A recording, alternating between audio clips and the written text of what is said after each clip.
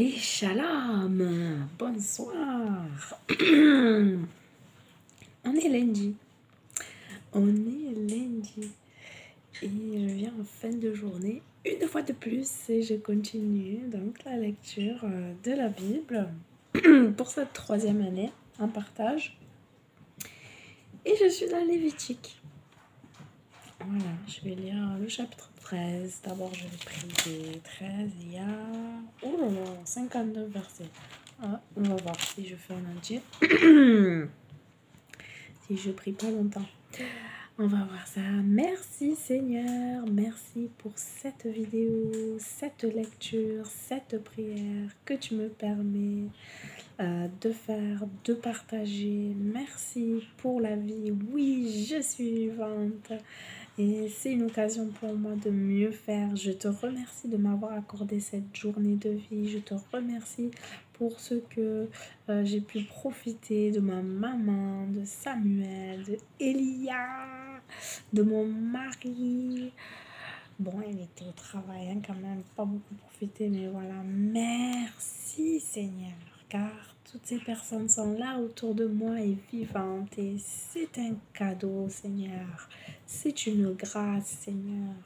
Oui, certains n'ont pas de famille, certains n'ont pas de mari, certains n'ont pas d'enfants, certains n'ont plus de parents. Voilà, et moi je suis bénie de les avoir autour de moi. Et voilà, je sais pas chacun jusqu'à quand je les aurai, mais merci Seigneur pour ce temps. Malgré les mauvais échanges des fois, mauvaise communication, disputes, malgré tout cela, Seigneur, combien je prie que tu changes nos cœurs à tous. Et pareil pour mes frères et sœurs, là où ils sont, dans leur maison, dans leur famille, dans leurs relations personnelles, avec euh, peu importe qui, chacun. Euh, nous avons des besoins, Seigneur, et tu les connais. Qu'on sache toujours tous te les déposer, Seigneur. Oui, tu es celui qui attend qu'on se confie en toi. Tu prends plaisir qu'on se confie en toi, qu'on te demande de l'aide, qu'on s'appuie sur ta parole. Tu aimes qu'on cherche à savoir quelle est ta volonté en plongeant nos regards dans ta parole Tu aimes cela, Seigneur. Et c'est ta volonté, oui. Merci d'être ce bon Père, toujours présent, toujours euh, les bras ouverts, toujours de bons et précieux conseils et d'avertissements. Merci Seigneur pour tout ce que tu as fait pour nous. Jusqu'à aujourd'hui, oui, tu as agi de différentes manières, qu'on puisse tous, chacun à notre portée, à notre niveau par rapport aux expériences qu'on a eues, qu'on puisse tous élever la voix, raconter tes hauts faits, te dire merci. Oui, tu as agi et tu agis encore. Tu n'as pas changé. Tu es le même aujourd'hui et éternellement ta parole ne passe pas, qu'on puisse la chérir, Seigneur, qu'on puisse la chérir et qu'on puisse avoir toujours faim et soif de toi, de t'entendre, qu'on ne te ferme pas la bouche en fermant ta parole. non. Qu'on ouvre ta bouche, qu'on ouvre ta parole. Merci Seigneur pour ta parole. Gloire à toi. Au nom de Yahusha qui a donné sa vie pour nous. Amen. Alors là, chapitre 13, euh, il y a ce titre Maladie de la peau chez l'homme. Alors, le Seigneur dit à Moïse et à Aaron Quand une boursouflure, une dartre ou une tache luisante apparaît sur la peau d'un homme et prend l'aspect d'une forme de lèpre, on amène cet homme chez le prêtre Aaron ou chez l'un de ses descendants. Le prêtre examine la partie malade. Si les poils y sont devenus blancs et qu'une cavité se forme dans la peau, c'est un cas de lèpre. Sitôt après l'examen, le prêtre déclare l'homme impur S'il s'agit d'une tache luisante et blanche, sans cavité dans la peau et sans poils blancs, le prêtre met le malade à l'isolement pour une semaine. Le septième jour, il refait un examen.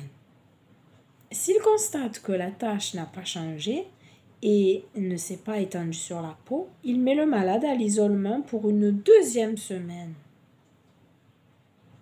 À la fin de celle-ci, il procède à un nouveau examen. Si la tache s'est ternie et ne s'est pas étendue sur la peau, le prêtre déclare l'homme pur. C'est une simple dartre. L'homme doit seulement laver ses vêtements pour être pur. Mais si la dartre prend de l'extension après que le, le prêtre a examiné l'homme et l'a déclaré pur, celui-ci retourne chez le prêtre. Le prêtre l'examine une nouvelle fois. Lorsqu'il constate que le dartre s'est étendu sur la peau, il déclare l'homme impur. C'est une forme de lèpre.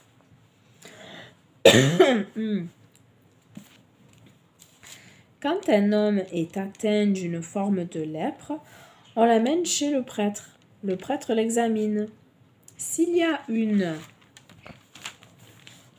une, une soufflure blanche sur la peau, avec des poils blancs et de la chair à vif, il s'agit d'un cas de lèpre chronique. Le prêtre déclare l'homme impur. Il est inutile de le mettre en observation à l'isolement, car il est manifestement impur. Par contre, si le prêtre a l'impression qu'une éruption de boutons recouvre tout le corps de l'homme, de la tête aux pieds, il procède à un examen approfondi. S'il constate que les boutons s'étendent effectivement sur tout le corps, il déclare que ce mal ne rend pas impur. L'homme est pur puisque tout son corps est devenu blanc. Mais le jour où apparaît sur lui de la chair vive, l'homme devient impur. Le prêtre examine l'endroit où la chair est vif, est à vif, et déclare l'homme impur. La chair vive et impure, elle résulte d'une forme de lèpre. Si l'endroit où la chair est à vif redevient blanc, celui-ci l'examine et il constate que la plaie est effectivement redevenue blanche. Il déclare qu'elle ne rend plus impure et que l'homme est donc pur.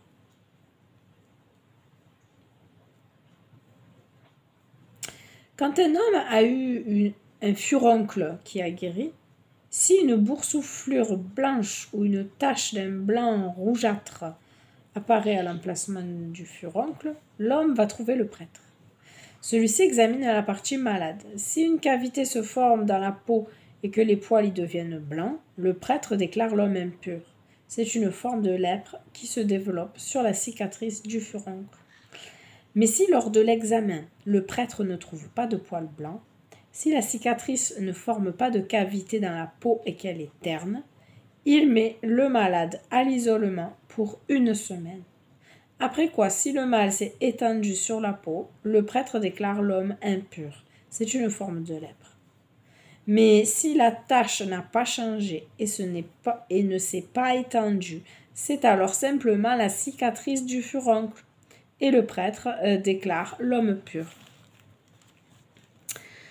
Quand un homme a été brûlé et qu'une tache luisante et blanche ou d'un blanc rougeâtre se forme à l'endroit de la brûlure, le prêtre examine la partie malade. Si les poils y sont devenus blancs et qu'une cavité apparaît dans la peau, c'est une forme de lèpre qui se développe à l'emplacement de la brûlure et par conséquent le prêtre déclare l'homme impur.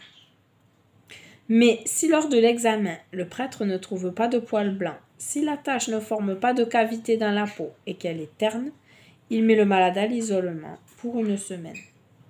Si le septième jour, le prêtre constate que le mal s'est étendu sur la peau, il déclare, l'homme impur. C'est une forme de lèpre. Par contre, si la tache n'a pas changé, si elle ne s'est pas étendue mais qu'elle est ternie, c'est une simple boursouflure due à la brûlure. Le prêtre déclare l'homme pur, car il s'agit seulement de la cicatrice de la brûlure. Quand un homme ou une femme est atteint d'une maladie de la peau sur la tête ou au menton, le prêtre examine la partie malade. Si une cavité apparaît dans la peau, avec du poil jaunâtre et clairsemé, le prêtre déclare la personne impure. C'est la teigne qui attaque la peau sur la tête ou au menton. Mais si lors de l'examen, le prêtre remarque qu'il n'y a pas de cavité dans la peau et qu'il n'y a cependant pas de poils foncés, il met le malade à l'isolement pour une semaine. Si le septième jour, le prêtre constate par un nouvel examen que le mal ne s'est pas étendu, qu'il n'y a pas de poils jaunâtres ni de cavité dans la peau, le malade doit se raser la tête, sauf la partie atteinte, puis le prêtre le met à l'isolement pour une deuxième semaine. À la fin de celle-ci, il procède à un nouvel examen de la partie atteinte. Si le mal ne s'est pas étendu sur la peau et ne forme pas de cavité, le prêtre déclare la personne pure. Elle doit seulement laver ses vêtements pour être pure. Mais si la teigne prend de l'extension après que, que le prêtre a déclaré cette personne pure, le prêtre refait un examen. Si la teigne s'est effectivement étendue sur la peau, le prêtre n'a pas besoin de rechercher s'il y a des poils jaunâtres, car l'homme est manifestement impur. Si par contre euh, la partie atteinte n'a visiblement, visiblement pas changé d'aspect et si des poils foncés y repoussent, c'est que le mal est guéri et que la personne est pure. Alors le prêtre la déclare pure.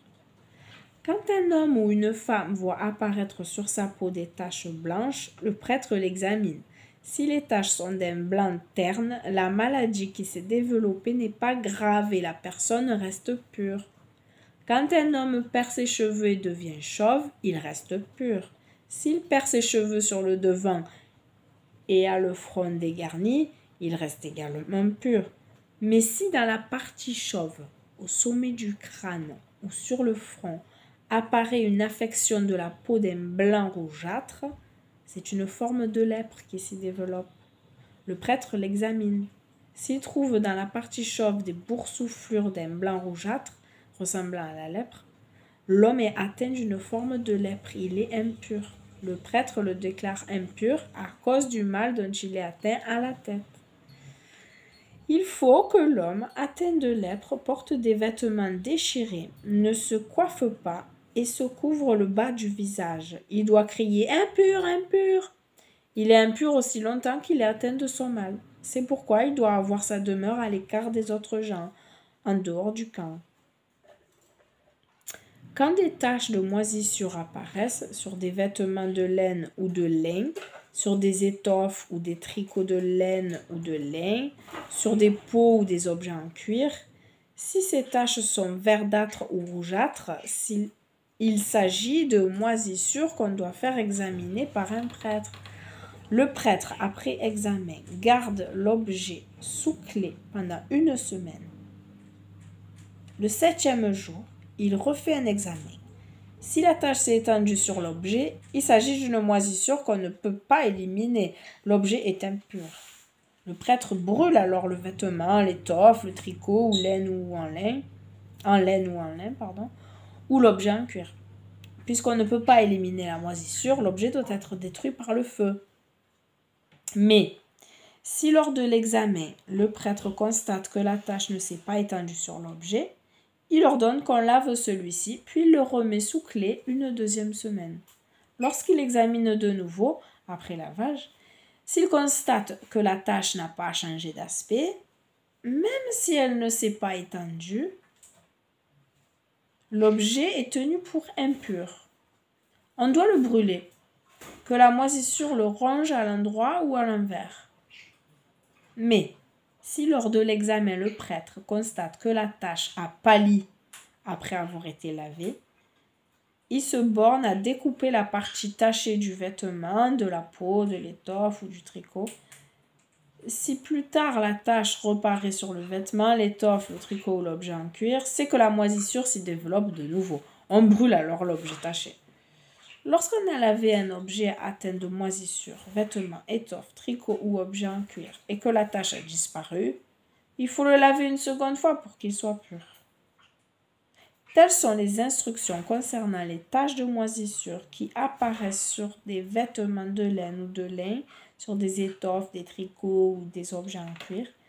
Ces instructions permettent de déclarer si l'objet atteint est pur ou impur. Bon, ben, je l'ai lu en entier. Voilà, c'est la fin du chapitre 13. Hmm?